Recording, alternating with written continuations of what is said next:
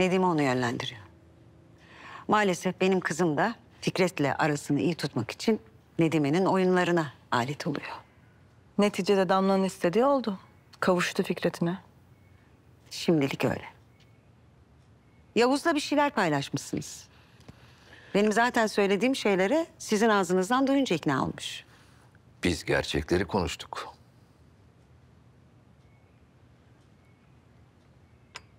Ben de sizinle açık konuşacağım o zaman.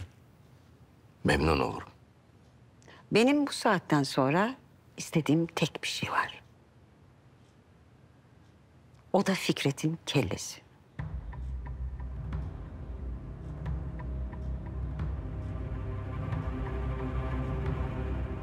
Fikret sonrasını Yavuz'la aranızda dizayn edersiniz artık.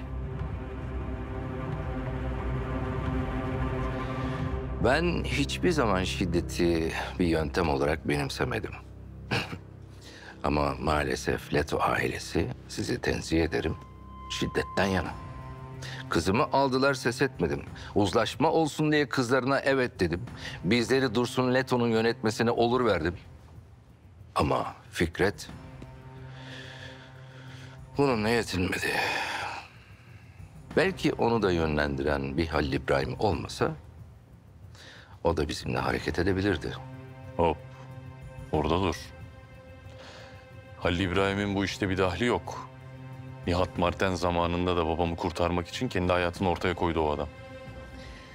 Halil İbrahim konusunda da elbet benim lafıma geleceksin Yavuz. Benim acelem yok. Bugün değilse yarın bana hak verirsin. Şimdi konumuza gelecek olursak. Fikret'in ölümü kolay. Ne zaman diyorsanız o zaman. Kızım onun çocuğuna hamile kalır kalmaz sözünüzü tutarsınız. Damla o adamdan bir de çocuk mu yapacak anne? Niye? Gamze Rızvan gibi bir adamdan iki varis doğuracak. Fena mı yaptı? Rızvan geberdi gitti. Çocuklar Gamze'nin çocukları.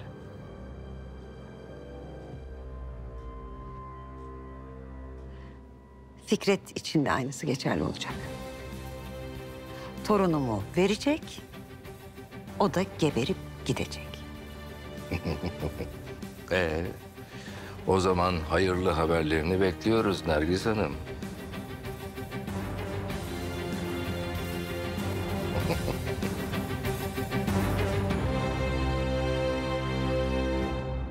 Daha fazla video izlemek için kanalımıza abone olabilir, ilk izleyen olmak için bildirimleri açabilirsiniz.